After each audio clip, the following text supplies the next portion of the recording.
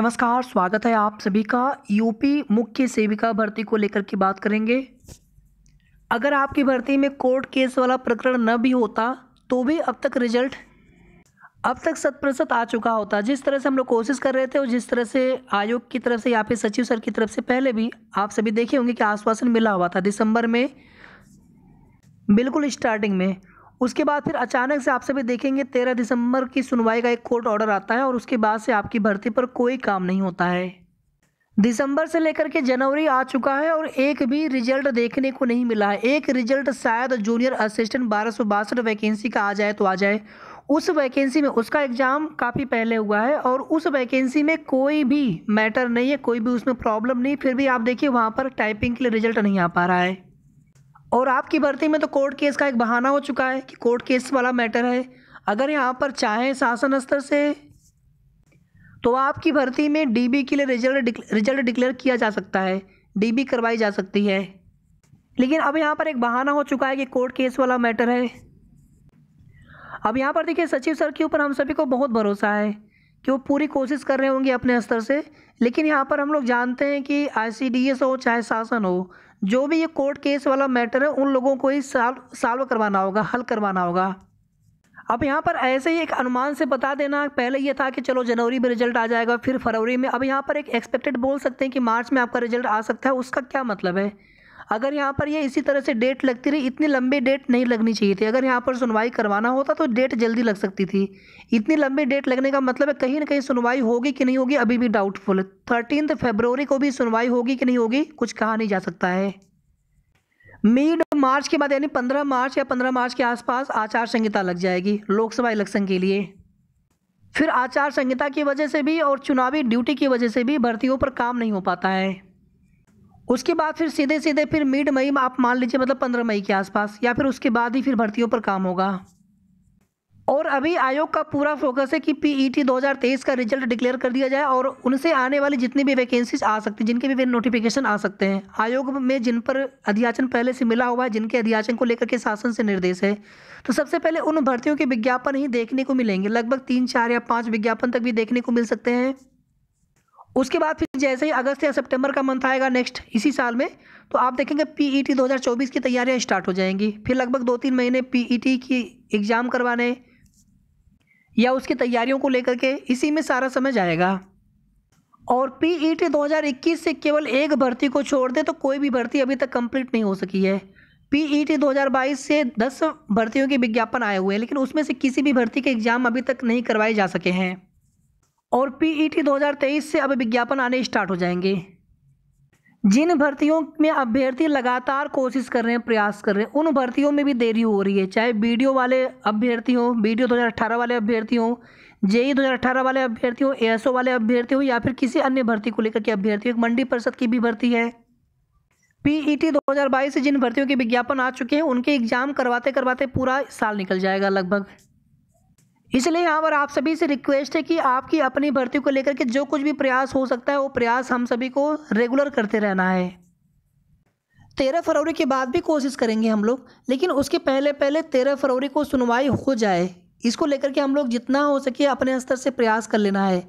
जनता दरबार जब भी लगे प्लीज़ आप लोग चले जाया करिए। एक बार, दो बार, तीन बार जाएँगे तो वहाँ पर मुख्यमंत्री जी को कहीं ना कहीं लगेगा कि ये अभ्यर्थी, ये बच्चे बार बार क्यों आते हैं? फिर वे स्वतः संज्ञान लेंगे।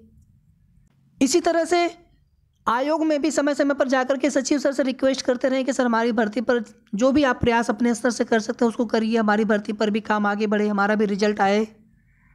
अब देखिए, हमारे पास आप सभी ने ये सूचना, ये मैसेज आप सभी के आए हुए हैं कि हम सभी को ट्विटर कैंपेन करना है। बिल्कुल, मैं आप सभी के साथ हूँ और मैं स्वयं जितना समय संभव, जितना समय दे पाएँगे, उतना समय देंगे आप सभी के साथ ट्विटर कैंपेन करने के लिए। एक घंटे, दो घंटे मैं खुद फ्री रह करके मैं समय दूँगा। ट्विटर कैंपेन के लिए। लेकिन इस मुहिम में आप सभी को साथ देना है। और ट्विटर कैंपेन से क्या हो सकता है? ट्विटर कैंपेन से बहुत कुछ प्रभाव पड़ता है और सकारात्मक प्रभाव पड़ता है। जितना हम लोग जा कर के कोशिश करेंगे, उससे कम प्रभाव नहीं पड़ता है ट्विटर कैंपेन से। बसरते ट्विटर कैंपेन जब भी हो तो हमारा हैशटैग ट्रेंडिंग में आना चाहिए। एक घंटे, दो घंटे तक लगातार अपना हैशटैग ट्रेंडिंग में आए। आप यूपी पुलिस कांस्टेबल भर्ती वालों को देख लीजिए रेलवे वालों को देख लीजिए। सब लोग ट्विटर कैंपेन भी करते हैं और अदर प्रयास भी उनके होते हैं। और आप सभी देखे होंगे कि वहाँ पर सफलता भी उनको शत मिली। हालाँकि ए वाले में भी सीट वृद्धि के लिए नोटिस आई नहीं अभी सीट वृद्धि हुई नहीं है। लेकिन ट्विटर कैंपेन का बहुत ही सकारात्मक प्रभाव पड़ता है। अगर अपना हैशटैग टॉप टेन में ट्रेंड करे तो कम से कम टॉप टेन में। अब ऐसा नहीं कि टॉप टेन में भी ट्रेंड ना करें या ट्रेंड करे ही ना। तो कहीं ना कहीं हमारे ट्वीट्स होते तो हैं। हम टैग भी करते हैं, मुख्यमंत्री जी को टैग करेंगे व अदर आईसीडीएस विभाग को व अन्य लोगों को टैग करेंगे। हमारी जो भी हम लोग मुहिम चलाएँगे, उसकी खबर भी पहुंचेगी उन उन लोगों तक। लेकिन एक बार हैश टैग ट्रेंडिंग में आने के बाद उसका एक अलग प्रभाव पड़ता है। तो ट्विटर की ताकत आप सभी समझें और जितना हो सके आप सभी को इस मुहिम में साथ देना है। ट्विटर कैंपेन से बहुत कुछ हो सकता है। घर बैठे थोड़ा सा अगर हम लोग समय नहीं दे पाएँगे तो फिर अपनी भर्ती को लेकर के। तो फिर कहीं ना कहीं यहाँ पर आपकी भर्ती में आगे कितना समय लगेगा, कुछ भी कहा नहीं जा सकता है। अभी जनवरी का मंथ है, मार्च एक्सपेक्टेड है। बता रहे होंगे कुछ लोग।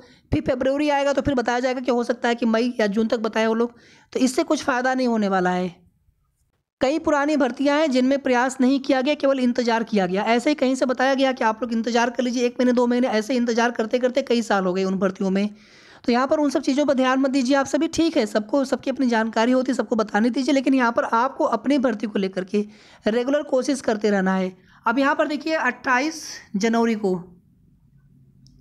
ट्वेंटी एट्थ जनवरी को आप सभी को इस मुहिम में साथ देना है। उसके बाद आगे जब भी ट्विटर कैंपेन करना होगा, हम लोग लगातार भी कर सकते हैं। दो तीन दिन लगातार भी कर सकते हैं। अट्ठाईस को कर ले, उनतीस को कर लें, तीस को कर लें, इकतीस को कर लें तो लगातार भी हम लोग ट्विटर कैंपेन कर सकते हैं। इसमें कोई दिक्कत वाली बात नहीं है। थोड़ा सा आधे एक घंटे का समय हम लोग हर दिन दे सकते हैं अपनी भर्ती को लेकर के, ताकि अपना मामला एकदम बिल्कुल हाईलाइट हो और थर्टीन फेब्रवरी को प्रतिशत सुनवाई हो जाए।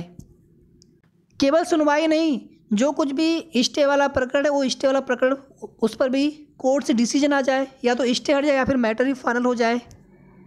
या फिर कम से कम डीबी रिज़ल्ट को डिक्लेयर करने को लेकर के मान्य न्यायालय से इंस्ट्रक्शन प्राप्त हो जाए आयोग के लिए कि आप डीबी कराए डीबी करवाइए और फाइनल रिज़ल्ट आप डिक्लेयर नहीं कर सकते।